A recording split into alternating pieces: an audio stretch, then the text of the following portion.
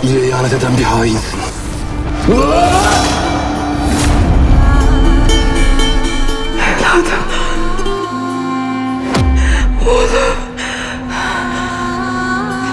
Neden ağlamaz? Ayılı bizi ele vermeden evvel onu derhal öldürmeliyiz. Mühim bir hadise vardır.